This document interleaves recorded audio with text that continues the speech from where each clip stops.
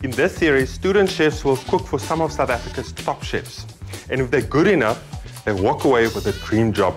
I'll be speaking to some very successful people to find out more about their recipe for success. And then there's still the viewers competition with prizes worth almost 250,000 Rand.